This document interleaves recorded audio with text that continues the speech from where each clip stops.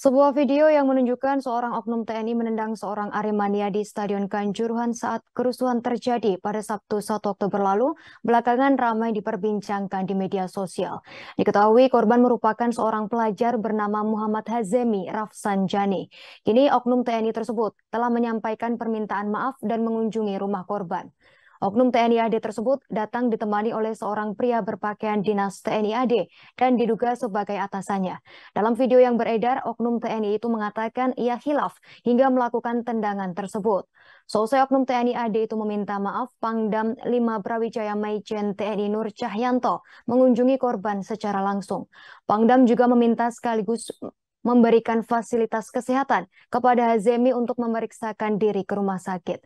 Nur Cahyanto berkunjung ke rumah korban bersama para petinggi TNI AD. Diketahui oknum TNI AD tersebut terekam kamera melakukan tendangan kungfu terhadap Aremania. Tampak dalam video saat itu, korban tengah berjalan biasa kemudian mendadak diserang dari belakang hingga tersungkur. Meski telah meminta maaf, Nur Cahyanto menegaskan proses pemeriksaan akan tetap dilakukan.